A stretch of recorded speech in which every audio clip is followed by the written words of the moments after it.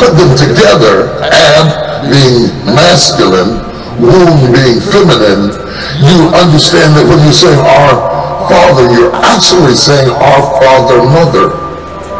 See? Now he's taking the scripture, he's taking the, he's bending the reality that the scripture is a confirmation to. the reality that the scripture is confirmation to is Jesus prayed and told us to pray. Abba. Even when we pray and the Holy Spirit prays through us, he, he cries, Abba, Father, not Abun, Abba. They took it and they got entangled with some satanic, mixed up things from the Sufis, which is a, a amalgamation of Hinduism, Buddhism, Jainism, and this is where Mary Baker Eddy, this is some of the foundation of her religion, Church of Christ Scientists. Is spiritism, is mysticism. Her, her religion is founded upon spiritism, mysticism, black magic, voodoo, hoodoo, Santeria. They're all the same, different names for the same stuff. And every single one of those things calls itself Christianity. Openly. And so, again, Mary Baker Eddy's teaching, Father, Mother, okay, again, we typed it in here. Father, Mother. Father. Oops. Father dash mother. And we see it nine times on the on the plate. See? nine times on the plate. Here in the Our Father's Prayer and and uh, this is Mary Baker Eddy from Ch Church of Christ Science. Her book, Science and Health with Key to the Scriptures, right? Mary Baker Eddy, right? So the first time it pops up, it's not there. That's the second time. First time up was here under the Our Father prayer. Our Father, Mother, God. See? She said, and, and the second time, here. God the Father, Mother. Christ, the Spirit, spiritual idea of sonship. The, the third time, right here. Father, Mother. Number eight, Father, Mother is the name for deity. See that?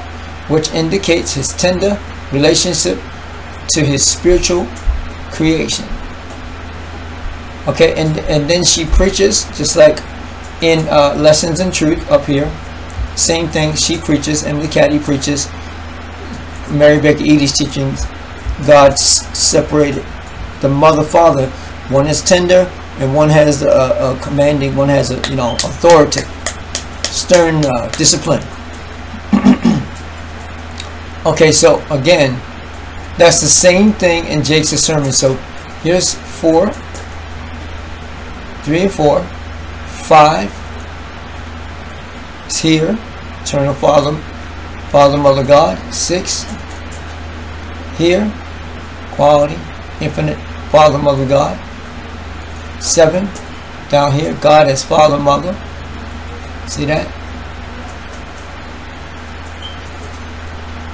Eight. Telling our God, telling our Father, Mother, God.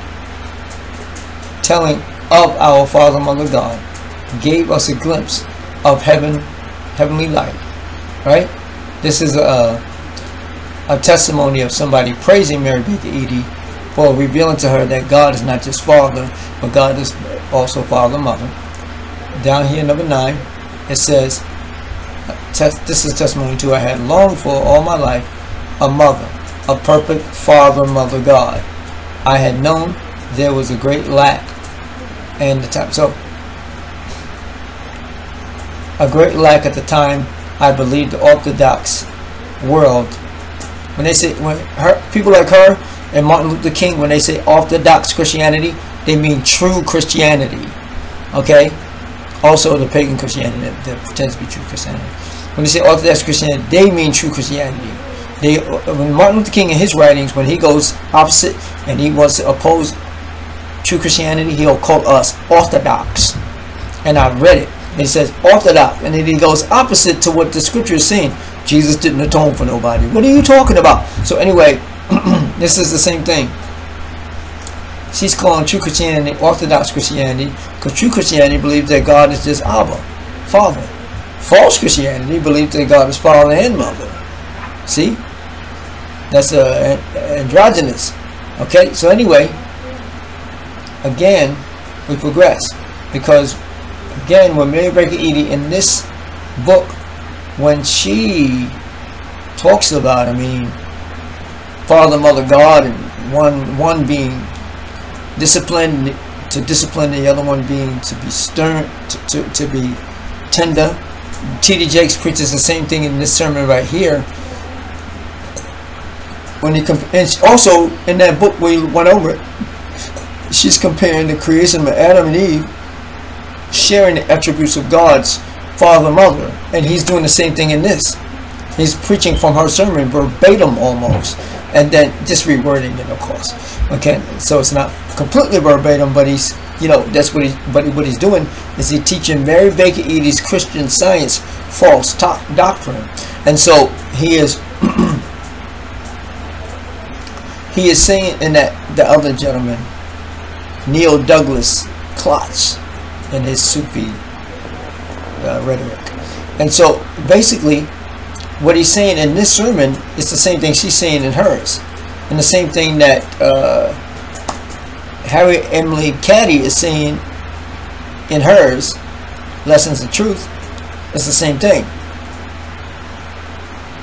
That God, Adam and Eve, represents aspects of God, the male and the feminine part of God the male and female part of God that's inside of God. That's God's masculine infinite. No, he's not.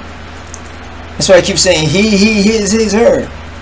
Her and, and hers and she is, is feminine. Him and he and his is male. masculine. And they keep contradicting themselves because they keep saying God, father mother, and then right in the next sentence they say he and his. See, it's because they start out Christian and then they can't get that he and his out of out of their com out of the out of their speech, you know. So that's why they don't call him he she. Some of the newer people will call God he she, and just plainly she. So God is the father and God is the mother, right? And in the same sermon, in this same sermon, just like her sermon, in her book, he teaches from that book, and he's saying that comparing the male and the female to one representing God's tenderness, another one representing his sternness. And he's cross wiring it. He's saying the male and the female they could they could uh, one could be stern and the other one tender or vice versa. But that's that's that's complete utter nonsense because one person the mother, if she's a single mother, can raise that child with both sternness and tenderness. Now, does that, does that make her an androgynous? No, it doesn't. So, again, if the father is a single father raising a child, he can raise that child with tenderness and sternness. What he's saying apply implies that one of them that has tenderness, the other one don't have it. They only have sternness. And the other one that has sternness, the other one don't have tenderness. That doesn't make any sense. Both parents can both have sternness and tenderness. That's equality. When you raise your kids and rule your children well, you both have to have, if you got the setting of a mother and father, you both have to have sternness and tenderness for that child. Both. The father just can't show no tenderness at all and let the mother show all the tenderness. That doesn't work. Vice versa doesn't work either. They both have to have both intact. He's saying like they don't. To make it, because he's trying to get the people to believe that this represents God is both father and mother. because he's both gentle and stern. That's a bad analogy. That's a bad analogy. God having sternness and tenderness doesn't make him any more feminine than it makes the mother feminine to be stern or tender. She's feminine because she's created that way. He's masculine because he's created that way. The sternness and the tender and the tenderness has nothing to do with that. it doesn't. So anyway, we progress. and again. So when you put them together, Ab being masculine, womb being feminine, you understand that when you say our father, you're actually saying our father, mother.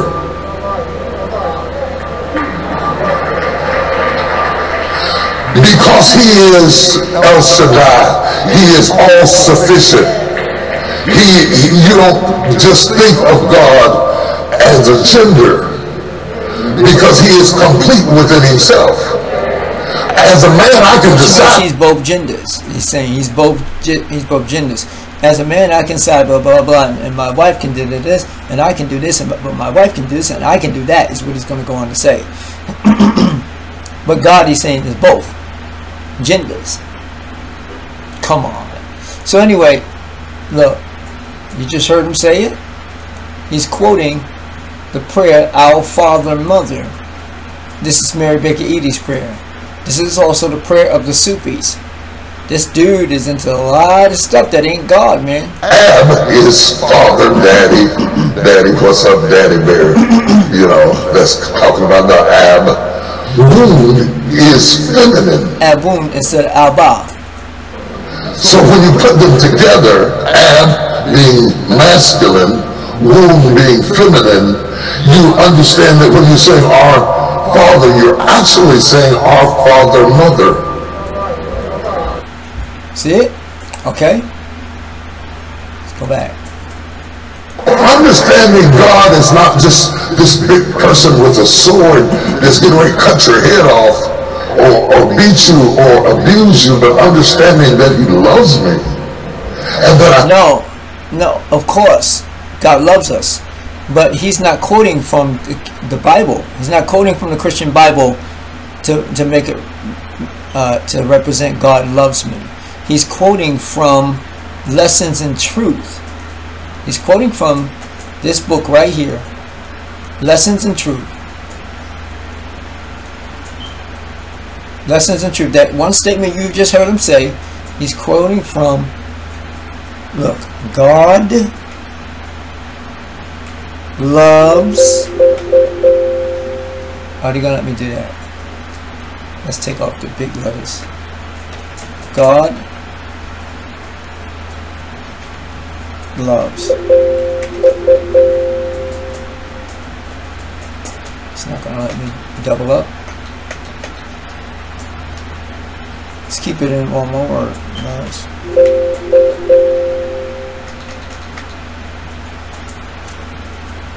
This is number 31. Not this number 31.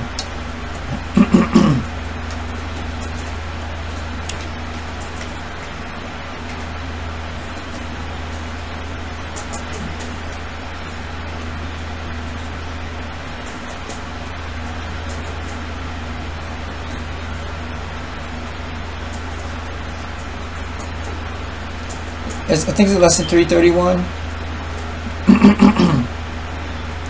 Right here. He's quoting this. He's saying it's he's saying that God is not abusive. God's not abusive, and understanding God loves me. Look, take thought. God loves me. Think these words over and over. Usually, uh, out continually for a few days, trying to realize that they are true and see what effect it will have on your body and circumstances.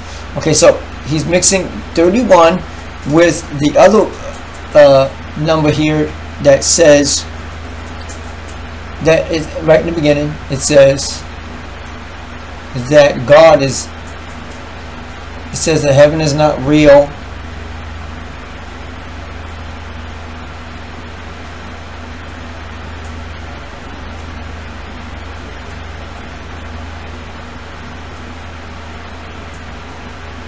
Let's go with heaven. Let's see if it pulls up heaven.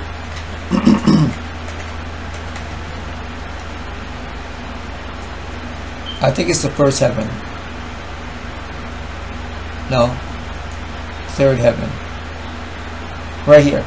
God then is not as many of us have been taught to believe. So the lady that's writing this, Helen Helen uh, Harriet Emily Caddy, a student of Mary Baker Eddy, she is saying that we were taught, some of us that used to be real Christians, we were taught something about God that's not true. What? He's not, a, in other words, he's not a big personage or man residing somewhere in a beautiful region in the sky called heaven. And she put heaven in quotations and says, where good people go when they die to see him clothed in, uh, in effigy glory. Now she's going to say exactly what he's quoting from this book. Nor is he a stern, angry judge, only uh, waiting opportunity somewhere to punish bad people who fail to live out a perfect life. So all he's doing is taking this and rewording it and going back to her other thing where she says God loves me right then he's combining it with this right down here Maya Angelou's favorite this is Maya Angelou's favorite statement in the book, this book, Lessons in Truth. She quotes it. She said, it's Lessons in Truth, the book, and her favorite part is where it says, God loves me. But it gives an analogy of God that we just read, that God is not someone, a, a personage in the sky. And if you read down, it'll say God is also not a person having qualities. So, which is false.